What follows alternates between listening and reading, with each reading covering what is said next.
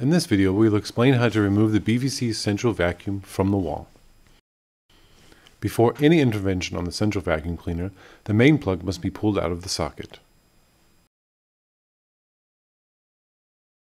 Remove the low voltage cable. For digital machines, the two wires are disconnected at the back of the electronics box. For analog machines, the low voltage plug is pulled out of the electronics box on top.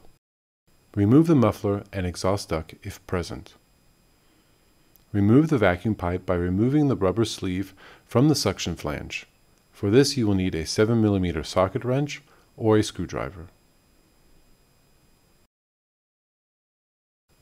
Lift the central vacuum unit off the wall and place it onto a flat surface.